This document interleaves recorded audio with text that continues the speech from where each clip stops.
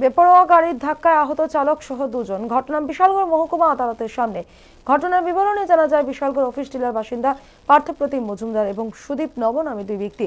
আগরতলা থেকে বিশালগড় আসার পথে মহকুমা আদালতের সামনে দাঁড়িয়ে থাকা দুটি গাড়িকে সজোরে ধাক্কা মারে। এতে একটি অটো এবং একটি স্কুল ভ্যান ক্ষতিগ্রস্ত হয়। প্রত্যক্ষদর্শীদের মতে, পাশেই বাচ্চাদের স্কুল রয়েছে। যদি স্কুল ছুটির সময় এই ঘটনা ঘটত, তাহলে বড়সড় বিপদ হতে পারত। এদিকে ঘটনার পর আহতদের বিশালগড় মহকুমা হাসপাতালে নিয়ে যাওয়া হয়।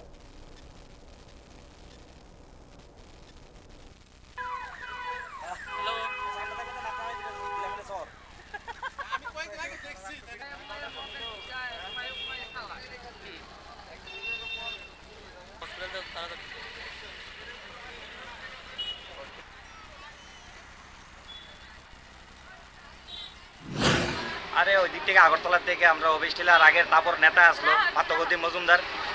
এসে রং সাইডে গাড়িটা মেরে দিছে। গাড়ি থেকে নামছে যে যেমন মদ খেয়ে রয়েছে গাড়ি থেকে নামে আটতে পারে না এরকম বইছে এসে রং সাইডে মেরে গাড়িটি পার্কিং আসলো তিনটা গাড়ি বড়াই লাইছে এক লগে একে অরিজিনালি ড্রাইভিং লাইসেন্স আইছে না না সেটাও সন্দেহ আছে আগে এটা চেক করা দরকার।